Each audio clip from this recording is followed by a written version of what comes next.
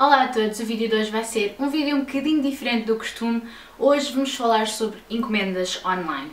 E eu decidi fazer este vídeo porque eu, como vocês sabem, encomendo muita coisa online e há um grande, um grande não, há vários grandes bichos em relação às encomendas online e eu recebo constantemente mensagens e comentários e tudo acerca de a fazer perguntas sobre encomendas online. E portanto eu decidi que o melhor mesmo era fazer um vídeo sobre encomendas online e falar dos pontos mais fulcrais sobre encomendas online, portanto falar de todos os problemas que envolvem alfândega, valores e falar também de alguns dos meus sites favoritos que são de confiança e onde comprar certos tipos de marcas que nós não encontramos cá em certos sites online, portanto fazer assim um género de um roundup de tudo o que eu sei de encomendas online. E obviamente que eu quero dizer que eu não sou nenhuma expert, o que eu vou partilhar convosco é a minha experiência própria com encomendas online.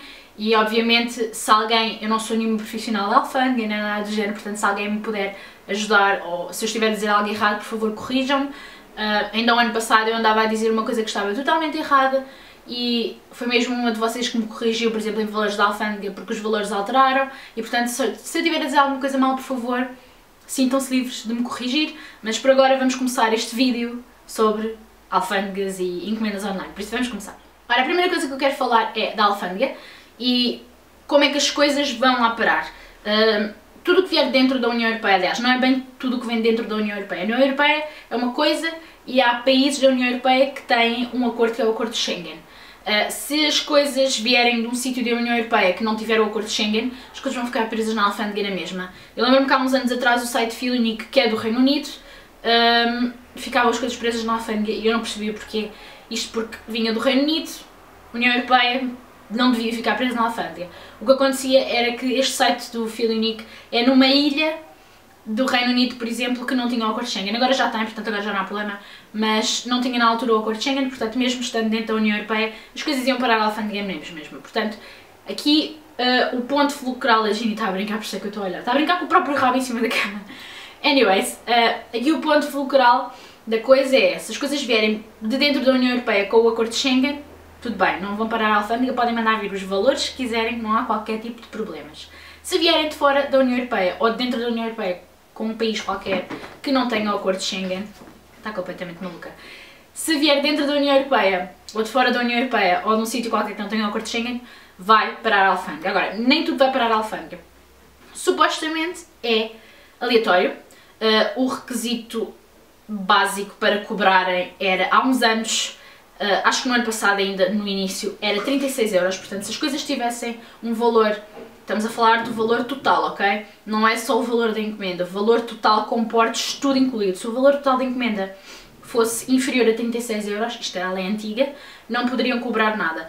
A encomenda pode realmente ir parar à alfândega, porque eles não sabem o que é que vem dentro das caixas, eles pedem a documentação sempre e se o valor fosse inferior a 36 euros eles não podiam cobrar nada e mandavam para casa. Agora a lei alterou. Agora é 22 euros, que é, quer dizer que quase tudo, quase tudo vai parar à alfândega e pode ser cobrado. Obviamente que se uma coisa vossa for para a alfândega e tiver um valor de menos de 22 euros, vocês mandam os documentos e assim que eles virem que tem menos de 22 euros eles não podem cobrar nada, mandam-vos para casa. Se a encomenda tiver mais de 36 euros, o que acontece sempre é quando vai parar a alfândega, uh, eles mandam uma cartinha para casa, ok? A alfândega manda uma carta para casa e pede documentação tipo BI, contribuinte, etc. E pede sempre a fatura ou o e-mail que vos mandaram com, uh, portanto, o preço total, portos, etc. Tipo a fatura comercial e vocês enviam e eles a partir daí fazem cálculos de o que cobrar. Obviamente que se a encomenda for inferior a 22 euros, eles enviam para casa, pode demorar um bocado, porque eles são um bocado lentos, infelizmente. Pode demorar um bocado, mas eles acabam por enviar e não vos cobram nada. Se for superior, eles estão à vontade para cobrar. Agora, os valores que cobrem, que é o que muitas vezes me perguntam, é eu não, não vos posso dizer ao certo. Se for por hum, correios normais, portanto, seja de que país vier, mas se for do serviço básico de correios do país, normalmente é o valor mais baixo. Portanto, o valor mais baixo normalmente é cerca de, pela minha experiência, ok, cerca de 30% do valor total. Portanto, se a vossa encomenda for 50 euros e vier pelos correios normais, portanto não vier por transportadora privada nem nada, eles vão-vos cobrar na alfândega mais ou menos 30% desses 50 euros. Isso inclui a uh, eh, taxa de importação, que eles vão pedir o IVA, inclui uh, taxas de manuseamento, da encomenda e desalfandegamento, inclui um monte de coisas, entre elas o IVA, que é o que normalmente se paga mais. Agora, há uh, muitas discrepâncias. Se vier por transportadora privada, aquelas que chegam cá tipo, super rápido, principalmente dos Estados Unidos, são as piores. Uh, eu já tive experiências com a FedEx que eu jurei para nunca mais. FedEx até hoje foi a que me cobrou mais. A USPS eu até gosto, os valores são mais ou menos, normalmente comigo, atenção, os valores são mais ou menos os mesmos que o flat mail, portanto o flat mail é o correio deles, normal. Estou a falar mais dos Estados Unidos porque é onde eu mando vir mais coisas, ok? Isto muda de sítio para sítio. A FedEx é horrível. A FedEx é uma transportadora que realmente nos traz os produtos em tipo 4 ou 5 dias para Portugal, mas depois nós pagamos uh, em termos de extras, pagamos mais até que o produto. E a desculpa que sempre me deram foi por ser transportadora privada. E quando eu digo que o valor é muito alto, é eu já mandei vir uma encomenda que era de 40 euros e a FedEx pedir-me, por exemplo, de taxas só para desalfandegar. Uh, eu não sei ao certo se é a FedEx que pede ou se é a alfândega, mas de qualquer das formas, uma das duas, ou as duas em conjunto, já me chegaram a pedir, por exemplo, uma encomenda de 40 euros, em que até 20 euros uh, era o transporte, já me chegaram a pedir 55 euros só para desalfandegar, o que é absurdo, porque é pagar mais para desalfandegar a coisa do que a própria coisa em si. Portanto, conselho meu, não mandem vir pela FedEx. Evitem ao máximo, a menos que estejam mesmo dispostos a pagar o que for necessário. As coisas, claro, são vossas e são vossas por direito. Mas o que acontece é que, se vocês não pagarem aquele valor, nem a marca vos devolve o vosso dinheiro, porque vocês têm que se dignar ao vosso país, nem a alfândega vos dá o produto. Portanto, o que acontece é que vocês pagam pelo produto e depois nunca mais o têm. Porque a alfândega fica com eles. Não sei se é a alfândega ao certo, mas ele nunca sai de lá para vir para, para a vossa casa. Portanto, o meu conselho, FedEx, nunca, sempre que tiverem a opção de flat mail, é o que demora mais tempo, ok.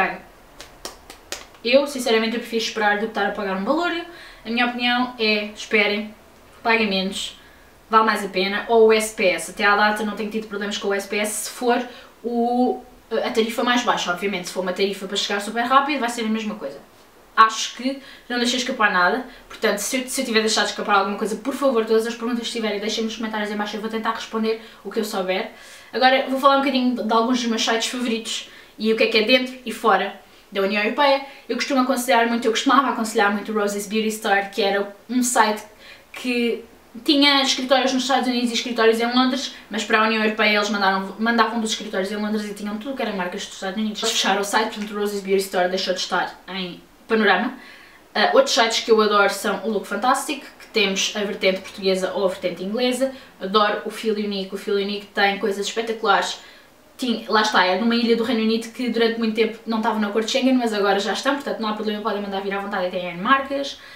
O Beauty Bay é dos melhores, tem quase todas as marcas assim internacionais. O Space NK, Space NK tem marcas como Tarte, uh, Hourglass, etc., que são muito difíceis de encontrar. Por acaso não sei se tem Tarte, não.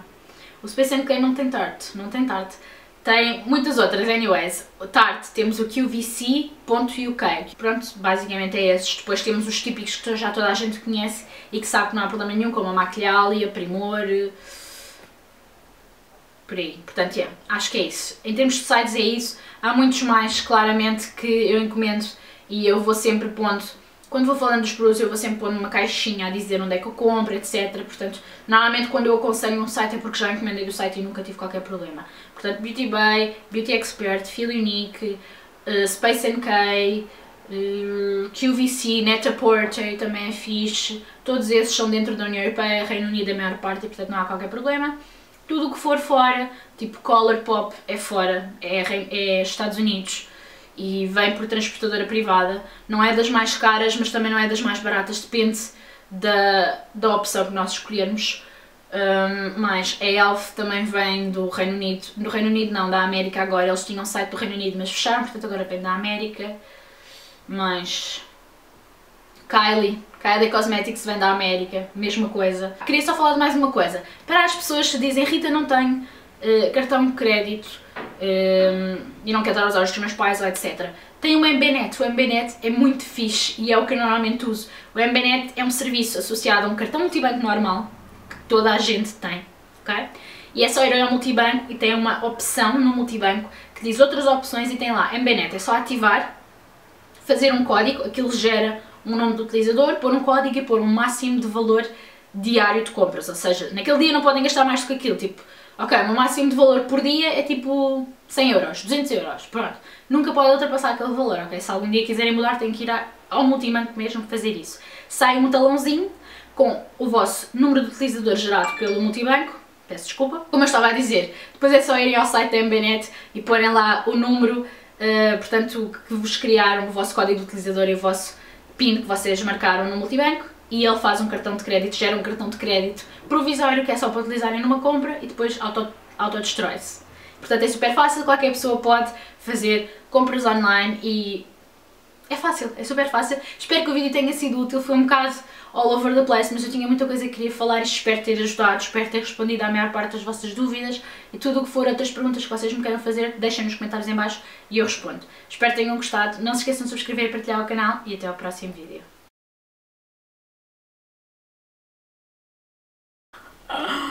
Oh my god. Oi, vais dar beijinho à mãe?